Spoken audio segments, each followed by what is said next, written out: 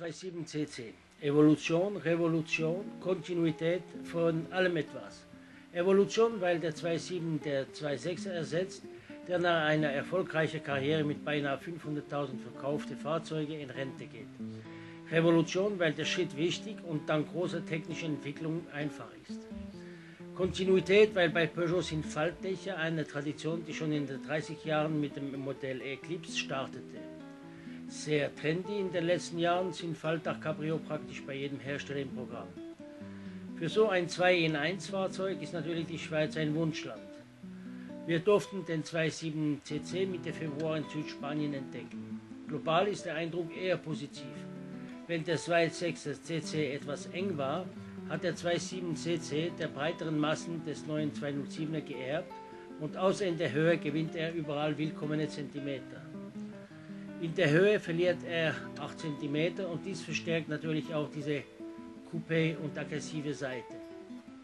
Der 207 CC übernimmt auch die Linie des 207er mit dem starken Peugeot Frontteil, jener Ausdruck Hai oder Löwenmund.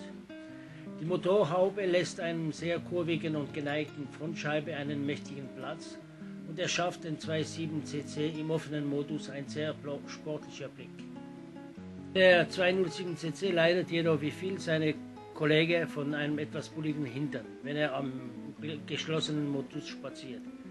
Innerleben, wir haben einen wohlgefertigten Fahrzeug gefunden, der sogar nach Ausstattungen eine Volllederanfertigung bietet. Die Sitze sind bequem und es gibt jetzt reichlich Platz für den Beinen, für die Vorderpassagiere wohlgesagt.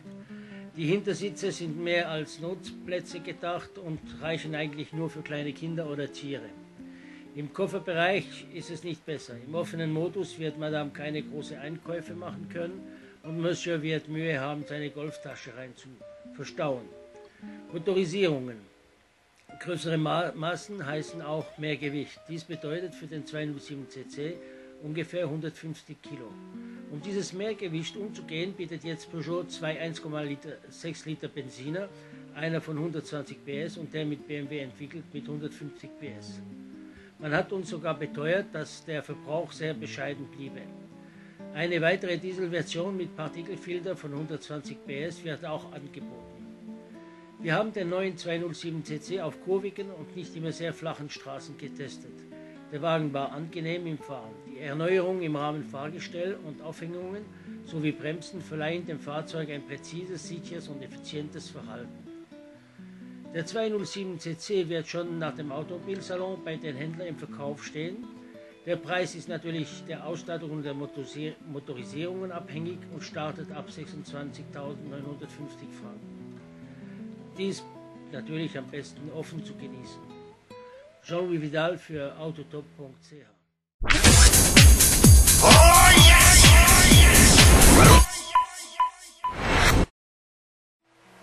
Peugeot 207 cc. Évolution, révolution, continuité, de tout un peu.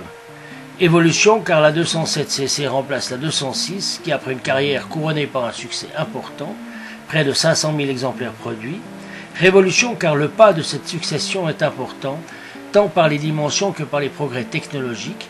Continuité enfin parce que le concept de cabriolet à toit rigide remonte chez Peugeot aux années 30 avec le modèle Eclipse. Très tendance ces dernières années, les cabriolets à toit rigide sont pratiquement présents chez tous les constructeurs. Pour la Suisse, pays au climat variable, l'avantage à ce véhicule 2 en 1 est indiscutable.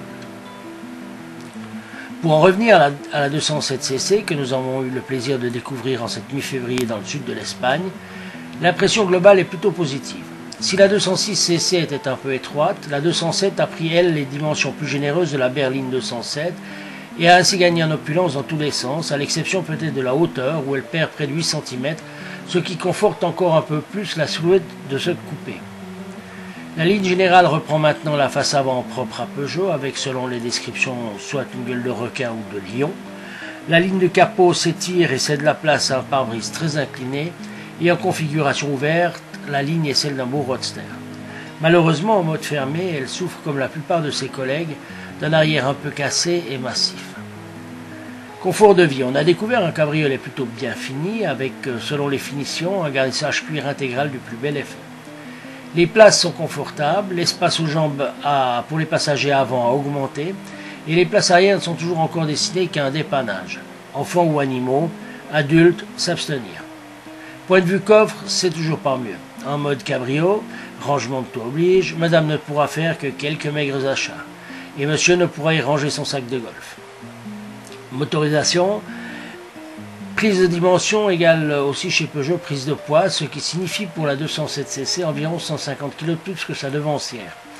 Pour ne pas être en reste, Peugeot a doté son coupé cabriolet de deux motorisations essence, toutes deux de 1,6 litres de cylindrée, l'une développant 120 chevaux et pouvant être associée soit à une boîte mécanique, soit avec une boîte automatique.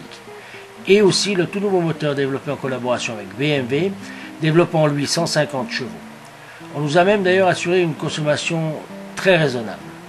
Une troisième motorisation diesel, cette fois de 1,6 litres, équipée d'un filtre à particules, développe elle 120 chevaux.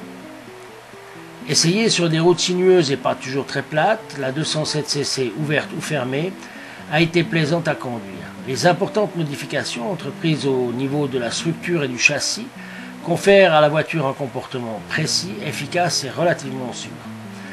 Disponible en Suisse dès après le Salon de Genève, le prix de la, 207cc s'établira selon les motorisations et les finitions au nombre de 3 Trendy Sport et Platinum Edition entre 26 950 et 34 670 francs. À consommer de préférence en plein air d'ailleurs. Jean-Louis Vidal pour autotop.ch